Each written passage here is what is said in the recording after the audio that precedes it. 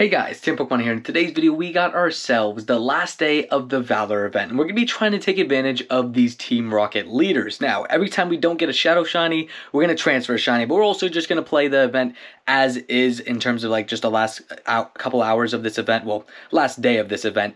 But let's see, it's not a Shadow Shiny Murkrow. That would have been nice to get a little Perkrow to start the video off. But we're going to go ahead, go on a grind, go on our daily incense grind and all that, see if we can get a Galarian Bird. And let's see if we can catch this one on the first try. Okay, thought that was going to go the third roll. We're going to go ahead and see you guys in the next clip, and I'll catch this. If it's any good IVs, though, I'll be right back.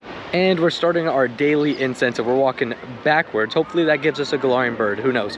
But we don't have our Master Ball yet, so it's not a guaranteed catch just yet but we'll still try. First spawn is a Natu, not shiny. And a shiny that is a shiny Hoppip. Not the most exciting, but it's still pretty cool. We're still on the daily walk, so it's only been a 15 minute grind. We still got a shiny there, uh, but Hoppip, we've seen a lot of these recently, and it's almost like I'm reluctant to tap on these, but a shiny is a shiny, and it's a three star, you take it. And Shiny Shadow Larvitar check. Let's go ahead and see if this gives us our first Shiny Shadow of like the last month and a half and first one of this event.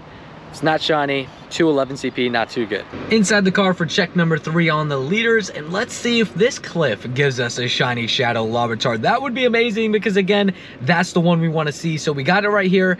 Is it shiny though?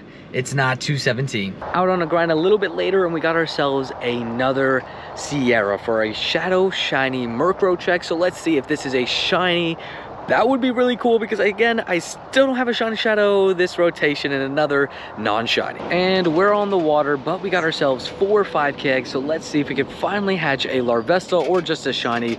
But I'm really hoping for the Larvesta because honestly, the Larvesta is what I really want. I have 400 rare candies waiting for it, and we do not hatch it here, unfortunately. Anything good though, let's see. We're also just looking for more leaders. There isn't many here. I was expecting more, but as you can see, just not much going on. But see you guys next clip. And now we're going to wrap up today's video. Hopefully you guys enjoyed. We just went ahead and just played what we could today. Thought I was going to be able to play a little bit more, but got to prepare to travel tomorrow. We're going to be flying out to Florida, and we got this to end our little New Jersey trip. We got ourselves a three-star Shiny Hoppip, which you take any day of the week, but we beat five leaders today, and I said that we're going to be transferring what is it, uh, five shinies then. So five shinies are going to bite the dust. We're going to go ahead and transfer uh, this little Diglett. Sorry, Blue Nose Diglett, you got to go. We're going to transfer four Togetic. So like I always do, we always transfer, uh, sorry, we always transfer uh, one